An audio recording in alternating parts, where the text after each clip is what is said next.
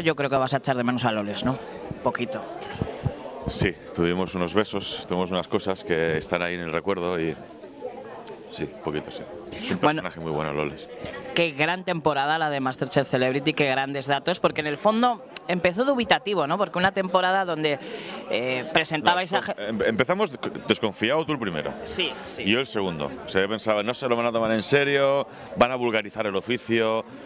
No, lo genial es que se lo han tomado muy en serio, han competido, se han mostrado como son ellos mismos, que yo creo que es lo más importante, y encima con el plus de que saben ser muy divertidos y que saben dar muchas cosas a la pantalla. Creo que es un compendio de todo muy bien, sin, con muy pocas pegas, que, que a la gente lógicamente le ha gustado y que es maravilloso. Y que sobre todo se han preocupado por conocer vuestra profesión, ¿no? Que encima la han dignificado aún más. Por el caso de Miguel Ángel, por ejemplo, o en el caso de Cayetano, o en el caso del propio Fernando Tejero, que si no recuerdo mal, estaba en clases en la Cordon Bleu, si no, si no recuerdo Sí, mal. a ver, en- entendemos que cuando hacemos el casting lo primero que buscamos es que sean celebrities, pero que les guste el mundo de la cocina, lógicamente.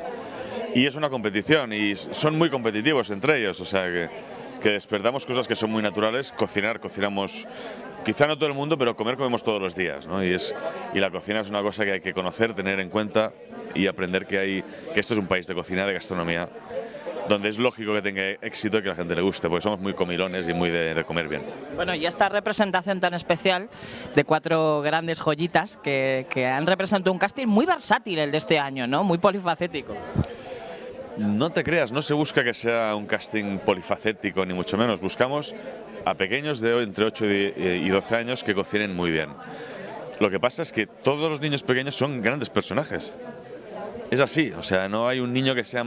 Lógicamente cada uno te gustará más o menos, lo que tú quieras, ¿no? Pero creo que en todo niño hay, capacidad de encontrar a alguien divertido, gracioso, con singularidad personal. Estos son niños normales, créeme. Lo que pasa es que como todos tienen mucha gracia.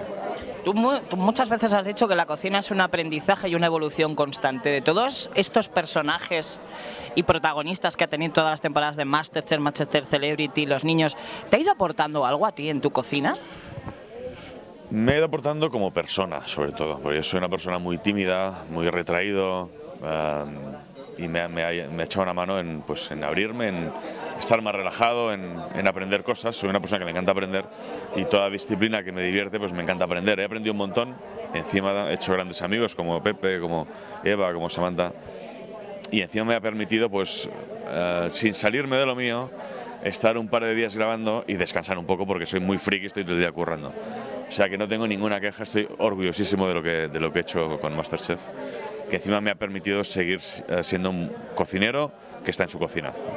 Y eso es lo más importante porque es, de hecho es lo que habéis transmitido, ¿no? Porque podía, lo que tú decías, mm, llegar a cruzar esa barrera de no comprensión, ¿no? De la profesión y lo que habéis conseguido es una manera de transmitir la profesión que todo el mundo entendemos, ¿no? Totalmente, totalmente. Mm, Piensa que nuestros invitados, los cocineros que nos visitan, que son unos cocineros increíbles, ah, contra ellos nunca hacemos nada que, que solo permitirles expresarse, enseñar lo que hacen en sus casas y la cocina para nosotros es intocable, o sea, no se le puede perder ni una coma de respeto.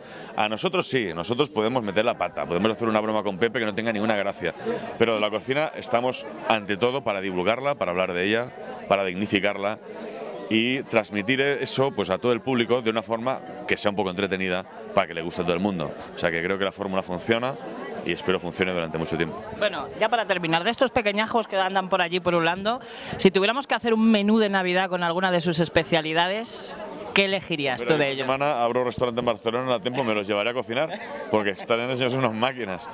¿Qué les pediría? No, les pediría que hagan platos de sus mayores.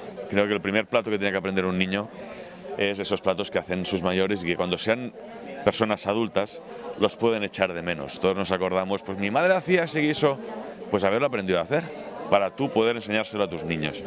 Ese es el primer plato que tienen que hacer y si me hacen un plato de sus papás, yo soy feliz.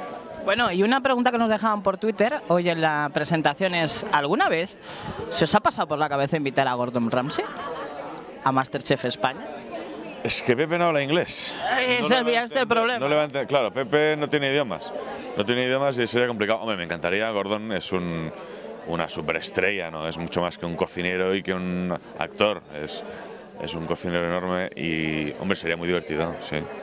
Sería gracioso. Bueno, ya para el final nos lo has dicho, ¿abre restaurante ya esta semana en Barcelona el de cuarto, nuevo? el cuarto en Barcelona. ¿Con llama- alguna propuesta? Es un bistró cosmopolita, un restaurante que donde eh, yo que solo hago menús de degustación casi, pues recuperamos el formato carta, un precio muy asequible, un gran restaurante que es un bistró y que creo que es una oferta que va a gustar porque está pensada para eso. ¿no?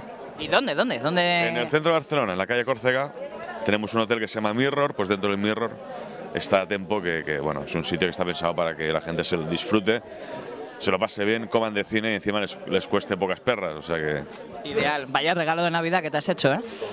Somos muy, muy proactivos, muy currantes y nos faltaba ese, tenemos un tapas, tenemos uno con una estrella Michelin, uno que tiene dos y nos faltaba ese punto medio asequible donde, donde en- en- con intención de dignificar, que es la que tenemos en la cocina, pues podamos dar de comer muy bien a un público más amplio. Pues dos más una, tres estrellas, el que viene, ¿no? A ver, Ojalá. A ver, ojalá. Jordi, pues muchísimas gracias Un y mucha suerte. Gracias. Agradecido.